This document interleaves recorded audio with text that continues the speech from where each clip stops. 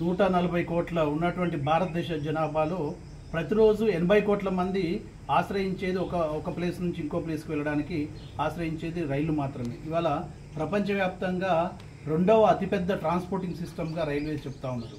So అటువంటి రైల్వేలలో ఎప్పుడో ముప్పై సంవత్సరాల క్రితం పెట్టినటువంటి రెండు సాధారణ బోగీలు జనరల్ బోగీలు అలాగే ఉంటున్నాయి. జనాభా మాత్రం యాభై రెట్లు పెరిగారు.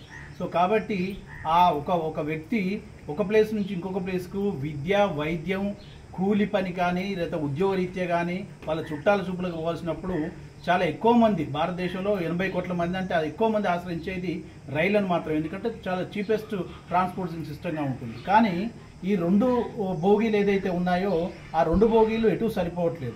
సో ఆ ఎక్కే క్రమంలో ఆ- ఒక ఇరుకులాటలో చాలామంది ప్రాణాలు కోల్పోతున్నటువంటి పరిస్థితి మనం చూస్తాము. దయనీయమైన పరిస్థితి.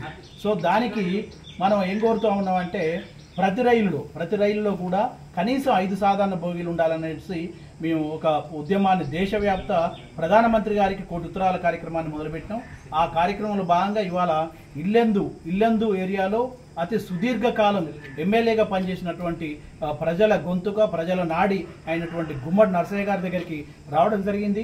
వారు చాలా సంతోషంగా ఈ యొక్క ఉద్యమానికి చాలా మనస వాచ కర్మన మద్దతు తెలుపుతూ వారు కూడా ఉత్తరం రాయడం జరిగింది. వారికి ధన్యవాదాలు తెలుపుతూ వారిలాగానే ప్రతి ప్రతి ఒక్కరు కూడా పేదవాడి పట్ల ఆలోచించే ప్రతి ఒక్కరు కూడా ప్రధానమంత్రి గారికి యొక్క మన ఆకాంక్షని ఉత్తరం ద్వారా తెలియవలసిందిగా కోరుతున్నాం డాక్టర్ అశోక్ పరికి పండ్ల ఐదు సాధారణ భోగిల సాధన సమితి జాతీయ కన్వీనర్.